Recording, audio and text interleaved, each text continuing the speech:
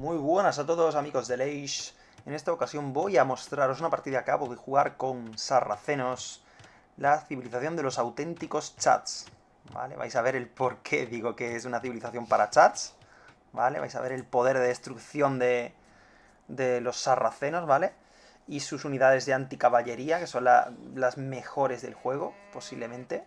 ¿Vale? Son muy caras, pero son las mejores. Y nada, vamos a darle un poco de vidilla a esto.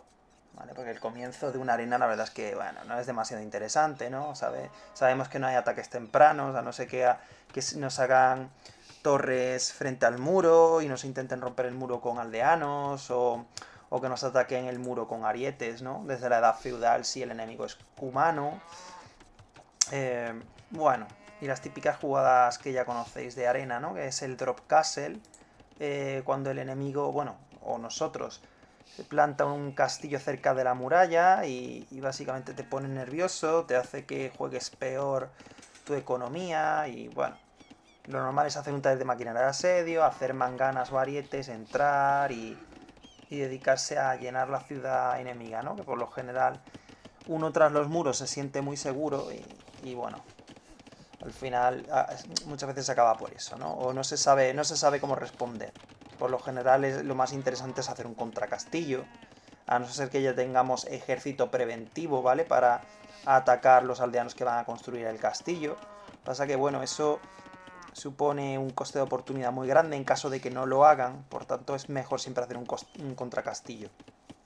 Es más eficiente, porque es que tener tropas para no usarlas, ¿vale? Como es un mapa de arena, al final no vas a poder atacar al enemigo porque está atrás de los muros, pues eso al final supone perder tiempo y recursos, ¿no? En vez de, en vez de estar potenciando la economía, ¿vale? Y, bueno, como os he dicho, bueno, eso, el enemigo vi que, estaba jugando con georgianos y dije, buah, partida perfecta para probar eh, sarracenos, porque yo normalmente no juego sarracenos. Y esta ha sido una partida, la verdad es que muy satisfactoria, por eso he decidido grabarla. Y, bueno, el caballo de exploración, como podéis ver con el autoscouting, no estaba, haciendo no estaba siendo muy eficiente, se quedaba aquí pegado al muro y no se movía, no sé por qué, y tuve que ponerme a... Me dediqué a explorar un poquito el mapa, ¿no? Con el... Eh, pues dejando pulsada la tecla Shift para hacer algunas rutas, ¿no? Y así explorar un poco. Y bueno, obviamente lo que estoy jugando es la estrategia del Fast Castle, ¿vale? Pero bueno, no es, un, no es un fast castle al uso, ¿vale? Ya que he decidido seguir haciendo aldeanos hasta, hasta tener 26. ¿Vale? Tengo 8 en madera, 12 en comida, 2 en oro y 3 en piedra, ¿vale? ¿Por qué? Porque tengo la idea, no de hacerle un drop castle a él, pero sí hacer un contracastillo. Sí me hace un drop castle, ¿vale? O bueno, o como poco tengo intención de hacer un castillo en algún momento, porque obviamente eh, georgianos, ¿qué es lo que juega siempre? Los temibles monaspas, ¿no? Que es esa unidad única de caballería que hace más daño cuanto más unidades cerca hay alrededor, o sea, de, monaspas, ¿no? Eh, lo que es el más, el más cero, en este caso de los scouts, pues iría subiendo a más 1, más 2, más 3, más 4, más 5, y no sé si hasta más 6, si hay muchos monaspas juntos, como que se, se, se potencian mutuamente, ¿no? Entonces, bueno, hace que sea una unidad muy, muy, muy eficaz, ¿no? Y bueno, eh, los mamelucos pensé que era una buena opción para contrarrestar los mamelucos. También están los camellos, ¿no? Aunque bueno, mi idea era contrarrestar si, si veía mamelucos, ¿no? Ahora, ¿qué pasa? Que mi caballo de exploración es asesinado aquí por unos lanceritos ninjas. Eh, sí, sí, ahí están los lanceritos. Vale, se me queda quieto. ¡Eh! Y me mata, ¿vale? Y estoy viendo que tiene tres o cuatro lanceros, digo, vale, si va a jugar lanceros, él está dando por hecho de que voy a jugar caballería para atacarle, ¿qué debería hacer? Pues, pues unos arqueros, ¿no? Unos arqueros de apoyo, estoy haciendo ya la galería de tiro con arco, ¿vale? Él ha llegado a los castillos antes que yo, y como podéis ver ya está mandando, pues, pues una avanzadilla para vigilar, pues, mi muralla. ¿Vale? Ya está mandando aldeanos para hacerme un drop castle, ¿vale? Como podéis ver, está jugando drop castle. Ya tengo 630 de piedra. 20 más y consigo hacer mi castillo, ¿vale? Y... Bueno, esto lo voy a poner ya a velocidad normal, pues acelerado de repente. Como podéis ver, veo, ¿vale? Como hice este puesto avanzado y desarrollé guardia urbana nada más llegar a feudal. Bueno, nada más llegar a feudal no lo sé, pero por lo menos antes de llegar a castillos. Antes de picar a Castillo, ¿vale? Porque yo sabía, o sea, que esto era una posibilidad muy, muy real. Que me intentase un drop castle, mando muchísimos aldeanos que tengo alrededor para terminar el castillo antes que el suyo, ¿vale? Pero claro, ya esto obviamente no va a evitar que él logre construir su castillo, porque tiene aldeanos fuera de rango eh, dando martillazos, ¿no? ¿Qué es lo que hago? Pues un taller de maquinaria de asedio ya mismo para empezar a crear arietes, ¿vale? Los arietes son muy efectivos para acabar con un castillo enemigo, ¿no? Sobre todo si hemos hecho un contracastillo porque nuestro castillo le da fuego de cobertura al ariete, ¿vale? Y eso ya, como podéis ver, estoy creando un ariete y tengo poca madera. ¿Qué es lo que hago? Pues utilizo, utilizo una de las ventajas más interesantes de Sarracenos, que es que en, el mercado eh, intercambiar un recurso por otro apenas tiene pérdida, ¿vale? Solo tiene un 5% de pérdida en sus primeros niveles. No sé si un mercado normal tiene a lo mejor un 30 o un 40% de pérdida de recursos, ¿vale? O sea que es muy interesante, como podéis ver, ya estoy obteniendo más madera gracias al mercado, ¿vale? Y reequilibrio recursos. Y si me falta un poco de oro, pues cambio comida por oro, ¿vale? Como podéis ver, estoy aquí haciendo cambios de recursos para seguir haciendo arietes. ¿Qué he decidido hacer? Pues crear un mínimo de 3 o 4 arietes antes de mandarlos a atacar el castillo, ¿vale? Porque puede ser que con dos arietes, pues mm, se derribe el castillo enemigo demasiado lento, demasiado despacio, y, nos lo lleguen a romper antes de, poder neutralizar el castillo enemigo, ¿no? Y bueno, ya, ya el enemigo aquí en cierto modo está cometiendo el error de que está mostrando sus cartas. Estoy viendo que va a jugarme a Monaspas, ¿vale? Esa unidad de caballería que os dije que es increíblemente efectiva, sobre todo en grupos, ¿Y qué decido yo? Pues crear mamelucos.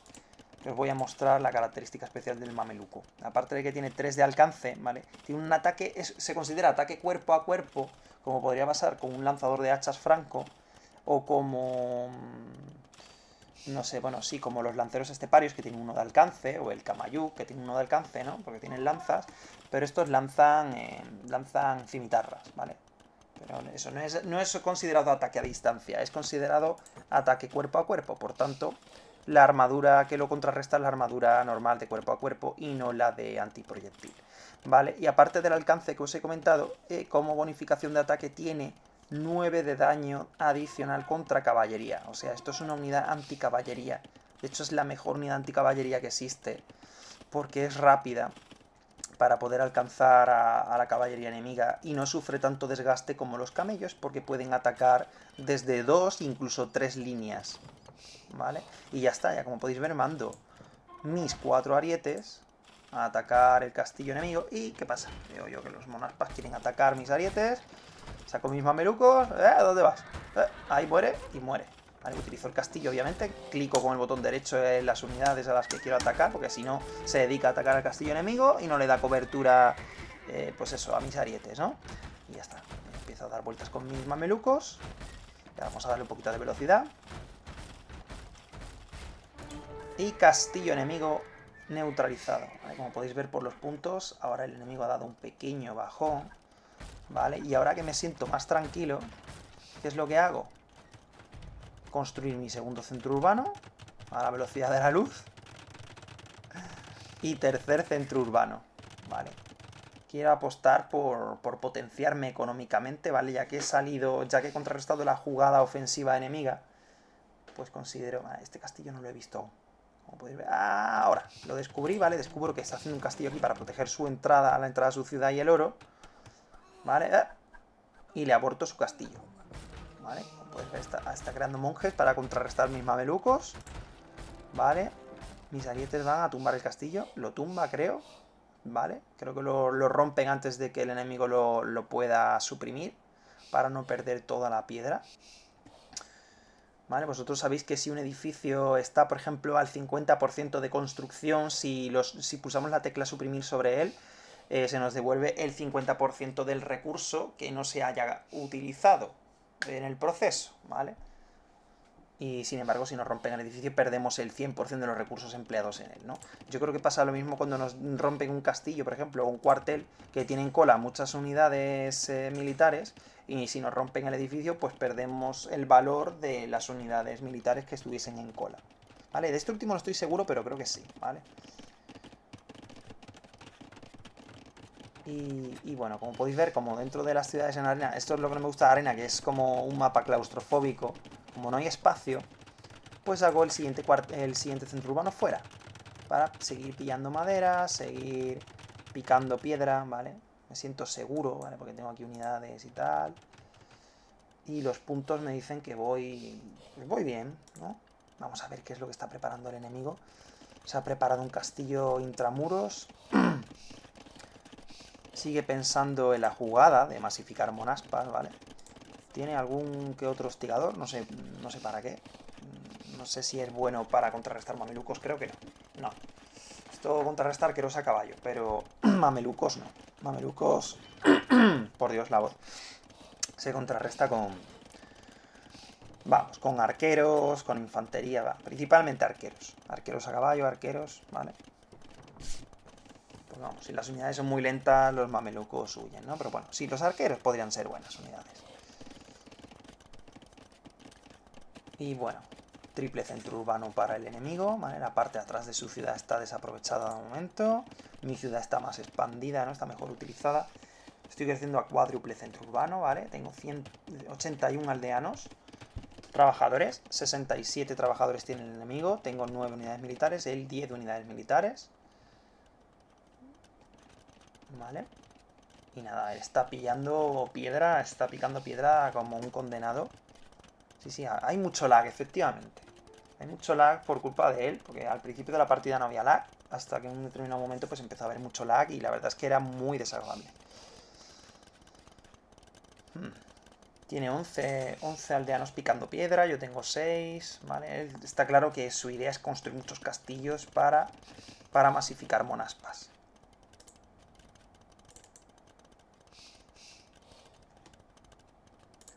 Y sigue acumulando monaspas. Eh, yo decido crear varios establos. ¿Por qué? Porque considero que el enemigo va a crear unidades para lanzar a distancia, eh, hostigadores, arqueros, ¿no? Como considero eso, pues decido desarrollar algunas tecnologías de, caballería, ¿no? Para hacer, por ejemplo, caballería ligera, ¿no? Los húsares. los sarracenos tienen dos fuertes, dos unidades fuertes en, en el late game, por así decirlo, ¿no? Los, camellos, que tienen un 25% de vida adicional y pueden desarrollar usares. Sin embargo, la línea del caballero es muy mala, porque solo se puede crear caballero, pero no se puede mejorar a caballero de imperial y mucho menos a paladín. ¿Vale? Para los que no me entendáis, el jinete de toda la vida, ¿vale? Y bueno, eh, estoy viendo pues eso, que el enemigo está acumulando castillos, ¿no? Eh, ya me veo cuál va a ser su jugada y yo sé que un solo castillo es un o sea, no da el ritmo suficiente para crear mamelucos en caso de emergencia, así que decido construir el segundo. Pico imperial, ¿vale? Él ya llegó imperial antes que yo, ¿vale? Tengo que trevear este castillo, y una vez que trevee este castillo, pues acumular tropas anticaballería sobre todo, ¿vale? Para pues, contrarrestar su ataque. Bueno, vamos a ocultar un poquito, ¿vale? Vamos a poner niebla de guerra para darle un poquito de, de misterio a la partida. Y bueno, ver ya llego imperial. Sigo creando algunos mamelucos. Vale, aquí construyo un cuartel, o sea, un, taller, ¿vale? Básicamente aquí, en este momento es cuando descubro este castillo, este castillo, ¿vale? Si no, no habría construido el taller tan cerca. Pero ¿qué pasa? Que lo utilizo como distracción, ¿vale? Mientras que me preparo en la retaguardia, construyo talleres, ¿vale? ¿Por qué he construido talleres? Vale, estoy desarrollando química por si en algún momento decido crear cañones, ¿vale? Mando mis cuatro arietes a romper el castillo, ¿vale? No con la finalidad de acabar destruyéndolo, sino para ver, para que el, enemigo revele sus cartas, ¿vale? Y como veo, el peor de mis temores se, se confirma, ¿vale? Monaspas, 14 más 4 de ataque, ¿vale? Porque son muchos. Ya sé que está masificando monaspas, y visto esto, pues tengo que crear mamelucos a saco. Como podéis ver, estoy creando mamelucos. Y ahora empiezo a crear algunos usares, ¿vale? Mala idea, ¿vale? Crear usares y no camellos. Pero de primeras me pilló así, me pilló un poco a pie cambiado. Mira, mira, mira, la batalla. En esta primera batalla, pues él tiene muchas más unidades militares que yo. Eh, machaca a mis mamelucos, obviamente, aunque estos tienen un buen desempeño para la cantidad tan baja que son. Causa grandes bajas, por así decirlo. El castillo estoy a punto de perderlo. Vale, decido crear otro, otro castillo para paliar la pérdida de este, ¿vale? Que ya no me daba tiempo de mandar aldeanos para reparar el castillo, ¿vale? Y aquí, bueno, aquí básicamente le veo las orejas al lobo. Empiezo a temer, ¿no? Por la integridad de mi ciudad. Vale, estoy creando eso, lo que dije, usares, ¿no? Bueno, ahora mismo es caballería ligera. Uno está mejorado a usar, ¿vale? Deseo crear más establos. Y ya estoy empezando a, a crear camellos. ¿Vale? Ya que he confirmado que tiene muchísimo monaspa, pues hay que jugarlo todo a anticaballería. El mameluco y el camello. El camello normal tiene 9 de, ataque, ¿vale? Adicional contra la caballería, igual que, que, el mameluco, ¿vale? Lo que pasa es que se expone más al ataque y... Se expone más al ataque y no tiene demasiado daño de ataque base para contrarrestar otro tipo de unidades, ¿vale? Y nada, aquí viene el segundo ataque enemigo, pero esta vez me pilla más preparado, ¿vale? 21 mamelucos y 10 camellos contra 25 monaspas. ¿Vale? Como podéis ver, aquí machaco y destruyo al enemigo. ¿Vale? Me siento tan poderoso que decido reírme. no, por, no por desmoralizar al enemigo, ni por hacerle ningún tipo de bullying, ¿vale? La verdad es que sí, me siento muy poderoso en este momento, ¿vale? Veo como los puntos están de mi favor. Decido construir un castillo adicional, ¿vale? Porque es que tengo que mantener el ritmo de creación de mamelucos, ¿vale? Para que el enemigo no haga bola de nieve, pero también necesito crear lanzapiedras, porque es que si no, no puedo avanzar. Por eso he decidido construir este otro castillo, ¿no? Aunque debía haber hecho, ¿vale? Debí haber usado estos talleres para, crear cañones, ¿vale? La verdad es que se me olvidó por completo la estrategia de los cañones. Como podéis ver, obviamente soy bastante noob, ¿no? Pero bueno. Tengo descuidos. No sé la teoría, pero tengo despistes, ¿no? Aquí otra batalla interesante. Rompo sus lanzapiedras. Bueno, ya está. Y aquí es donde gano. ¿Vale? Unidades más creadas, yo 49 mamelucos eh, que ya eran de élite, por cierto, los mejoré a mameluco de élite, ¿vale? Que básicamente tienen más vida y no sé si más armadura, pero el daño base creo que es el mismo. Y bueno, y de ataque, daño anticaballería tiene 12 en lugar de 9 en la versión no de élite, ¿vale? Y bueno, y el 76 monaspas, unidad más creada. Y bueno, yo pensaba que económicamente yo habría hecho bastante más economía. Eh, la verdad es que me equivoqué. Cuando veo los datos económicos dije, pero si más o menos hemos conseguido lo mismo. Eh, o sea, eh, vale, solo he hecho yo mil de recursos más que él. Mil de recursos totales más que él. 51.000 frente a 50.000. Vale, conseguí más madera. Un poquitín más de, de comida, pero él hizo más oro y más piedra. ¿Vale? ¿Por qué? Porque él pilló las cinco reliquias. 5 reliquias, 3.446 de oro. Se nota mucho, ¿eh? Se nota mucho. Y bueno, aquí se ve las tecnologías, eh, bueno, más o menos igual, ¿no? 27, 26. Sociedad, los castillos, ¿no? Y, bueno, y las APM, ¿no? Las acciones por minuto que no lo puedo ver en esta versión no de pago de del Capture Age. Bueno, pues nada, espero que os haya gustado la partida y espero haberos convencido para que probéis esta buena, esta bonita civilización de chats que son los sarracenos, ¿vale? Y os podáis sentir eh, verdaderamente poderosos contra, contra esta civilización que parece imbatible, ¿no? Eh, la, civilización de los georgianos que está muy OP, en algún momento posiblemente sea nerfeado. Porque es que la verdad es que vencer a un georgiano es muy jodido, sobre todo cuando empieza a masificar monaspas. Ya os digo que de lo poco, mirad, que además tiene 15 de regeneración de vida por minuto. La, caballería georgiana. De las pocas opciones verdaderamente buenas que hay contra georgianos son los sarracenos.